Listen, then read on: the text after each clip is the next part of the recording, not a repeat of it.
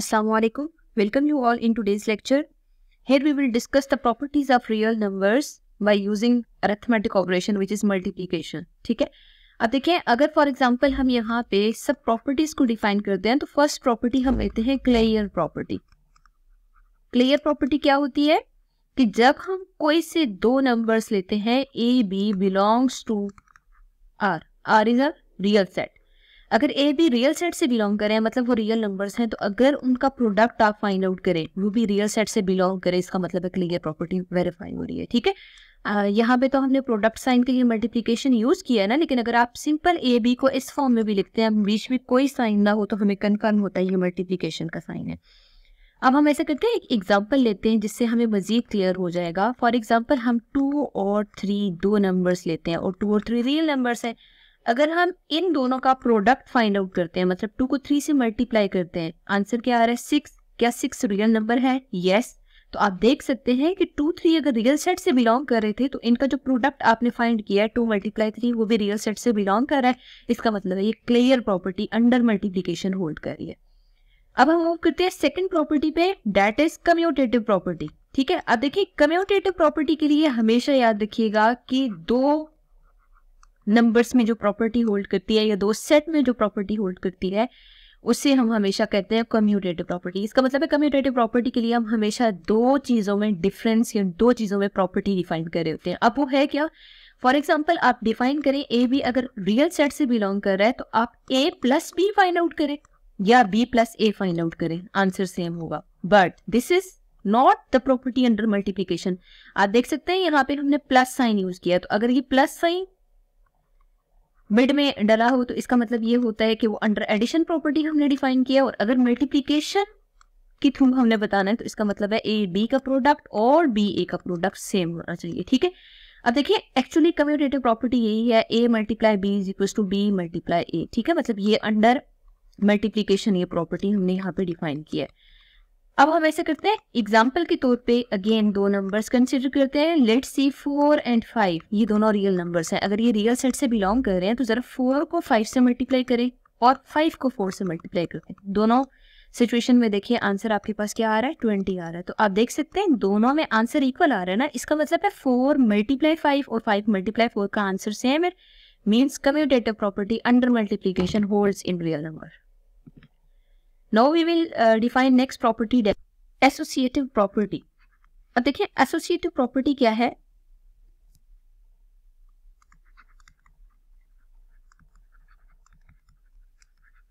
In associative property we always consider three numbers for example हमने तीन numbers real set से लेने हैं तो इन जनरल हम डिफाइन करते हैं A B C belongs to capital R ठीक है? अगर ए बी सी आर से बिलोंग कर रहे हैं तो ए मल्टीप्लाई बी तो ए बी के प्रोडक्ट को हम यू लिख सकते हैं। Multiply C equals A B into C ठीक है? एसोसिएटिव प्रॉपर्टी क्या है कि अगर आप ए बी सी लिखें, उसमें फ़र्स्ट टू नंबर्स को मल्टीप्लाई करके जो आंसर आ रहा है, उसको थर्ड से करें या लास्ट टू को मल्टीप्लाई करके जो आंसर आ रहा है, उसको फ़र्स्ट से करें, हमेशा आंसर सेम आएगा। आपको पता है कि ब्रैकेट को हम हमेशा पहले सॉल्व करते होते हैं, ठीक है? तो ये एसोसिएटिव प्रॉपर्टी है but we will improve it by using one example For example, we have three numbers 2, 3 and 4 belonging to capital R. Let's see अब 2 और 3 दोनों का प्रोडक्ट लेते हैं ठीक है? और उसको 4 से मल्टीप्लाई करते हैं या 2 को 3 और 4 के प्रोडक्ट से मल्टीप्लाई करते हैं। चेक करते हैं आंसर सेम आता है या नहीं? थ्री टू ज़ा six six multiply four is twenty four ठीक है? अब आप यहाँ देख सकते हैं टू मल्टीप्लाई इन दोनों को फ़र्स्ट ऑफ़ ऑल मल्टीप्लाई करने फोर थ्री ज़ा ट्वेल्व आंसर इज़ 24 अगेन तो left hand side right hand side equal है, इसका मतलब है ये प्रॉपर्टी वेरीफाई हो रही है। तो एसोसिएटिव प्रॉपर्टी एक्चुअली हमेशा आपने यूँ डिफाइन करनी है। लेट्स सी हम एल एम एन डिफाइन कर लेते हैं आर से। ठीक है? आर का मतलब है रियल सेट से बिलोंग करते हैं। तो जब आप एल को एम से मल्टीप्लाई करें और जो आंसर आए उसको एन से करें या एल को आप एम एन के प्रोडक्ट से मल्टीप्लाई करें, हमेशा आपके पास आंसर सेम आएगा। This is actually associative property the next property is multiplicative identity ठीक है, अब हम देखते हैं रियल नंबर्स में मल्टीप्लीकेटिव आइडेंटिटी क्या है। देखिए इस टर्म से ही हमें क्लियर है कि आइडेंटिटी का मतलब होता है सेम होना। ठीक है, अब मल्टीप्लीकेटिव आइडेंटिटी क्या है कि आप किसी भी नंबर को, आप किसी ऐसे नंबर से मल्टीप्लाई करें आंसर सेम आए। Let's see we will take the number three three को किसी ऐसे नंबर से मल्टीप्लाई करें आंसर थ्री आए। फाइव को किसी नंबर से मल्टीप्लाई करें आंसर अगेन फाइव आए। सिक्स को किसी नंबर से मल्टीप्लाई करें आंसर आपके पास सिक्स आए। इवन सिक्स हंड्रेड को किसी नंबर से मल्टीप्लाई करें you will get answer six hundred ठीक है? तो आप यहाँ देख सकते हैं मल्टीप्लीकेशन में एक ही पॉसिबिलिटी है कि वो नंबर हमारे पास वन हो। ठीक है?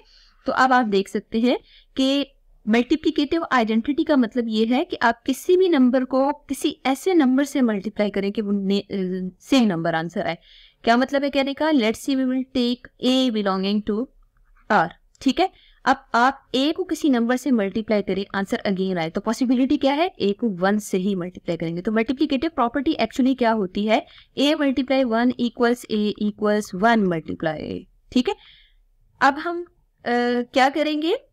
एक एग्जाम्पल्स वैसे हमने काफ़ी डिस्कस कर ले है लेकिन हम एक और एग्ज़ाम्पल यहाँ पे ले लेते हैं। लेट्स सी अब फोर थाउज़ेंड लेते हैं ठीक है? फोर थाउज़ेंड को ज़रा वन से मल्टीप्लाई करें will get answer four thousand again और इसी तरह आपसे कहा जाए कि वन को फोर थाउज़ेंड से मल्टीप्लाई करें मतलब अगर लेफ़्ट से मल्टीप्लाई करें या राइट से मल्टीप्लाई करें तो हम अभी प्रीवियस प्रॉपर्टी में डिस्कस कर चुके हैं कि commutative law under multiplication holds in real numbers तो इसका मतलब ये है कि इससे कोई फ़र्क नहीं पड़ता आ, हम आ, फोर थाउज़ेंड को वन से मल्टीप्लाई करें या वन को फोर थाउज़ेंड से मल्टीप्लाई करें?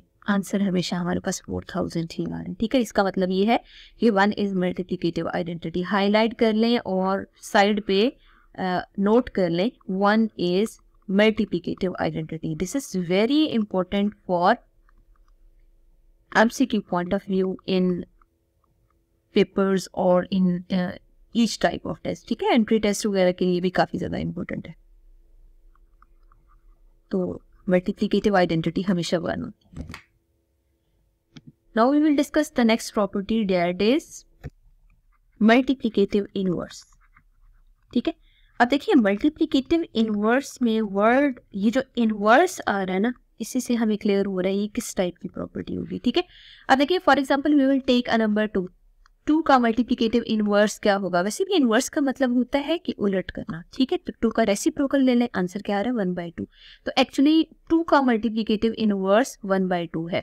And the second important thing is that जब भी किसी नंबर को उसके मल्टीप्लीकेटिव इनवर्स से मल्टीप्लाई करते हैं तो आंसर हमेशा मल्टीप्लीकेटिव आइडेंटिटी आता है डेट इज़ वन तो अब हम ऐसा करते हैं, यहाँ पे डिफाइन करते हैं for every non zero real number ठीक है ना?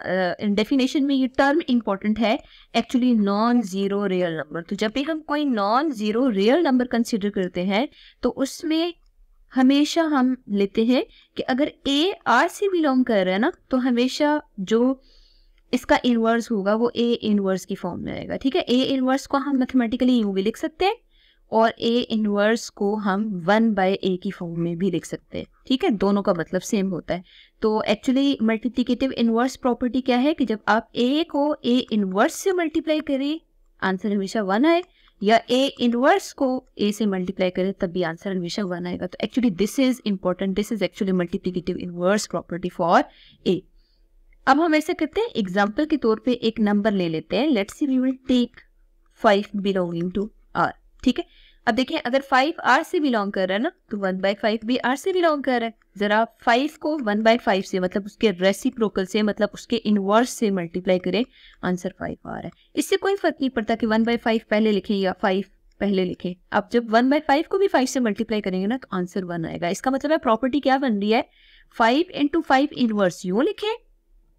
या जैसे इस फॉर्म में हमने five into one by five की फॉर्म में लिखा है, दोनों लिहाज से ये प्रॉपर्टी करेक्ट है। ठीक है, इसको लिखने के दो मेथड है।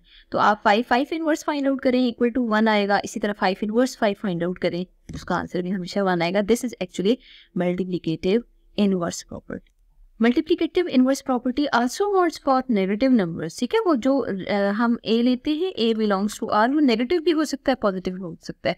तो यहाँ पे हम देख सकते हैं कि अगर फॉर एग्जांपल हम नेगेटिव नंबर कंसीडर करते हैं तो देखिए नेगेटिव नंबर माइनस फाइव है तो माइनस फाइव का इनवर्स क्या होगा? वन बाई माइनस फाइव ठीक है? तो फाइव डिनोमिनेटर में आ रहा है विद नेगेटिव साइन इन दोनों को मल्टीप्लाई करें. आंसर किसकी इक्वल आ रहा है? वन की इक्वल आ रहा है. और similarly minus one by five लिखें या नेगेटिव साइन को डिनोमिनेटर में लिखें, इससे कोई फ़र्क नहीं पड़ता. जब आप इन दोनों को सॉल्व करेंगे, तभी आप देख सकते हैं नेगेटिव आंसर ही आ रहा है. ठीक है? अब देखिए, अगर वो रियल नंबर फ्रैक्शन फॉर्म में हो, तब क्या होगा? ठीक है? तो ऐसा करते हैं, एक यहाँ पे एग्ज़ाम्पल कंसिडर करते हैं. Let see ten by eleven एक नंबर है, जो कि आर से बिलोंग कर है. ठीक है? अगर हम देखें इसका इनवर्स क्या होगा? Eleven by ten that also belongs to R तो जरा टेन को टेन बाई इलेवन को इलेवन बाई टेन से मल्टीप्लाई करें। आप देख सकते हैं इलेवन इलेवन से कैंसर और टेन टेन से cancel you will get answer one here ठीक है? सिमिलरली आप इलेवन बाय टेन को, अगर टेन बाय इलेवन से भी मल्टीप्लाई करते हैं you will get answer one है ठीक है? इसका मतलब यह है प्रॉपर्टी क्या बनी? One by eleven into eleven by ten equals one equals eleven by ten into ten by eleven this is actually multiplicative inverse property for negative real numbers here is the question for you you have to solve all these M and mark correct option